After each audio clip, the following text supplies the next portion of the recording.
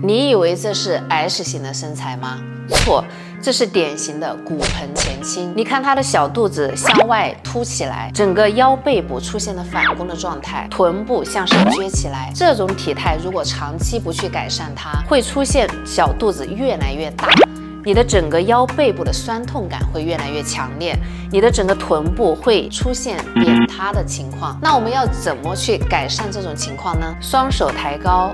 随着呼气收肚子，把身体卷起来，吸气慢慢的还原向下，八个呼吸为一组，做五组训练就可以了。双腿屈膝，双手环抱住自己的小腿胫骨，大小腿收紧靠向自己的肋骨。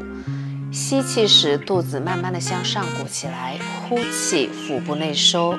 三十秒为一组，做五组，坚持两周，你的骨盆前倾就可以得到很好的改善。你对自己的体态哪些不太满意的？评论区告诉我，下条视频教你怎么练。